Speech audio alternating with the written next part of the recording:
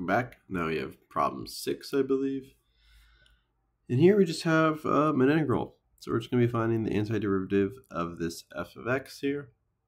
So um, we can rewrite this. And uh, this is going to be indefinite. So there's no bounds of integration here. We have 9x squared minus 11x dx. We can realize here that we have two separate parts of this integrand that we can split up into two different integrals to evaluate. So now we can rewrite this as two integrals. Integral of 9x squared dx minus the integral of 11x dx.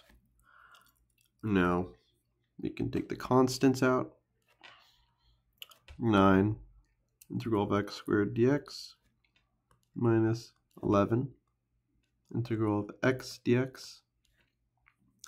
Now we apply our, apply our integration rules adding the exponent, dividing by it, x cubed over 3 times 9, our constant, minus, now we have this x here, it's going to be x squared over 2 times this 11 and that is, oh, those are indefinite integral.